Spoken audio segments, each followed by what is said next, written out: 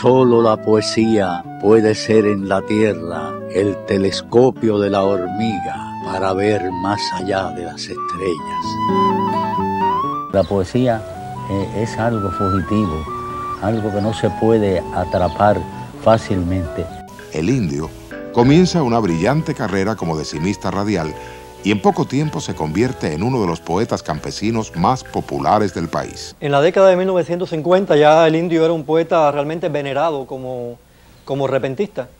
Eh, sus improvisaciones y sus controversias con Justo Avega, Adolfo Alfonso y otros poetas populares movilizaban estadios completos de personas, los espectáculos poéticos más concurridos de la historia de Cuba. No hay iris, se difumina el color de las violetas y convivo con siluetas en un mundo de neblina. Para la cultura cubana es un honor poder contar entre sus hijos a Jesús Horta Ruiz, el indio Naborí.